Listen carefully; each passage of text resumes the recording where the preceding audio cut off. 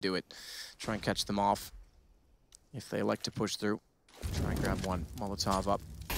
Incendiary to be technically correct toward Palace. That gives him a bit more space. No one to peek up behind him, so he can wait to get flashed in. Success finds NiKo, turns around, finds MODDII, swaps to the Deagle, and thinks, nah, let's not. I've already got position. Get to the headshot at Cinders instead. And that works because he's got another and another. He's looking for the ace. He's got four, he's got five. felps with all of them to put them on map point. Lovely stuff there. It's going to be 15-3. felps manages